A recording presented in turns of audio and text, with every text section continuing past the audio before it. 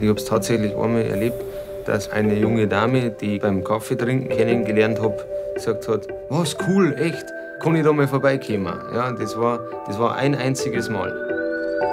Das erlebt man als Metzger eher selten. Ja.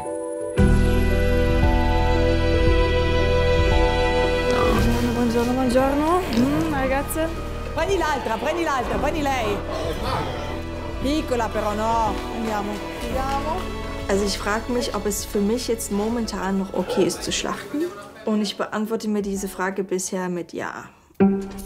Ich weiß ziemlich genau, wie wir alle innen aussehen. Ich weiß, wo eure Filets sitzen.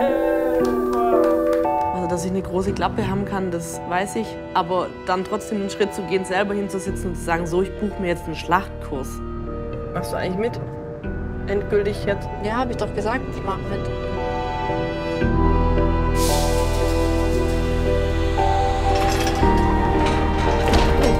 Ah, die Schlachtkursteilnehmerin.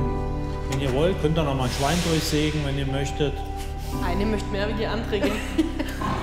Und das sind jetzt quasi auch alles die Nächsten, die dran sind, sozusagen. Morgen früh, ja. Alle. ja.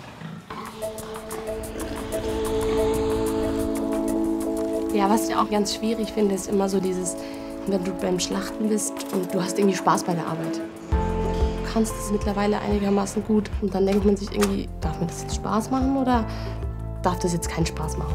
Entscheidend ist, dass du diese Adern, dass man die möglichst durchtrennt. Tiere töten mache ich jetzt eigentlich schon über 40 Jahre und ich muss euch ganz ehrlich sagen, das fällt mir eigentlich immer schwerer. Să fie de tare el. Pentru că ție milă, câteodată și eu mai închid ochii când împușc un animal.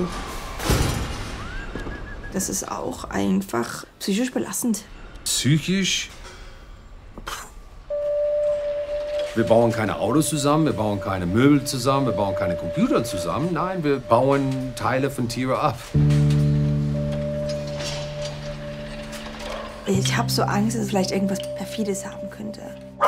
Dass du halt auf eine gewisse Art und Weise deine Seele belädst. So, dass du irgendwann aufhören müsstest. Also es ist immer die Frage, ob du diese Büchse der Pandora irgendwann öffnest oder nicht. Ja, wenn du halt irgendwann anfängst, dann hast du ein Problem.